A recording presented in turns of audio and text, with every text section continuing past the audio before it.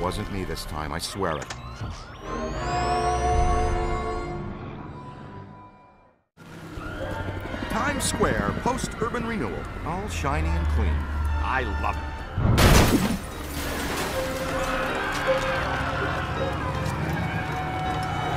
Say, is that him? It's hard to miss. Egon, how close do we have to get the big trap to reel him in? A lot closer than this.